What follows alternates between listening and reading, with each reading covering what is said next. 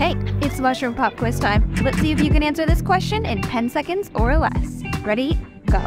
Which mushroom species is often described as the elixir of long life? Elixirium ad longum vitam. Is it A. reishi, B. agarikon, C. lion's mane, or D. turkey tail? Do you know the answer? If you chose agarikon, you're right. So visit our site to learn more about agarikon.